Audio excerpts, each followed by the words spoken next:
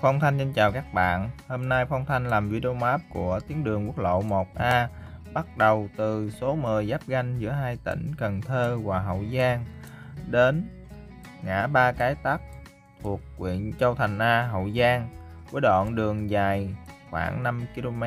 Mời các bạn cùng theo dõi.